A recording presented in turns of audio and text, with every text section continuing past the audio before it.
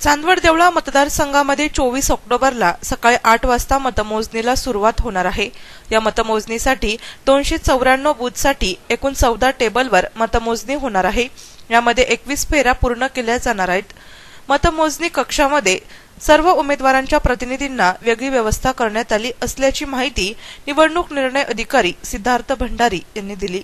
एकशे अठरा चांदवड विधानसभा मतदारसंघामध्ये उद्या चोवीस तारखेला सकाळी आठ वाजता मतमोजणीला सुरुवात होणार आहे. या मतमोजणीसाठी दोनशे चौ दोनशे चौऱ्याण्णव बूथसाठी एकूण चौदा टेबलवर ही मतमोजणी होणार आहे. यासाठी एकूण एकवीस फेऱ्या पूर्ण केल्या जाणार आहेत. त्याचप्रमाणे E T P B S आणि पोस्टल बॅलेट याच्या मतमोजणीसाठी स्वतंत्र दोन टेबलची व्यवस्था करण्यात आलेली आहे.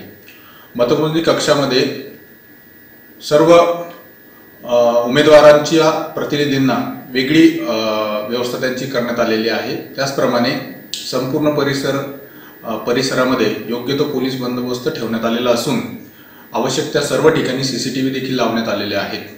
त्याचप्रमाणे प्रसारमाध्यमांना त्वरित मतमोजणीची माहिती देण्यात यावी यासाठी एक मीडिया कक्ष स्थापन केलेला असून एल ई डीद्वारे एल ई डीद्वारे देखील बाहेर त्यांना सर्व आकडेवारी त्वरित पुरवण्यात येणार आहे.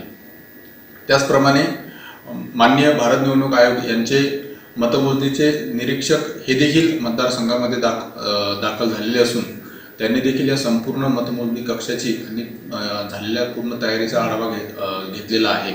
संपूर्ण मतमोजणी परिसरामध्ये पोलीस बंदोबस्त ठेवण्यात आलाय तसेच सीसीटीव्ही बसवण्यात आले. नाशिक सिटी न्यूजसाठी प्रतिनिधी देविदास जाधव चांदवड.